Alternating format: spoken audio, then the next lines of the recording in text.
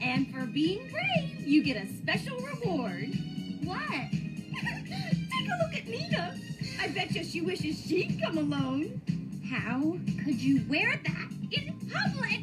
I lost a bet, okay? It's the same color as Taylor's eyes.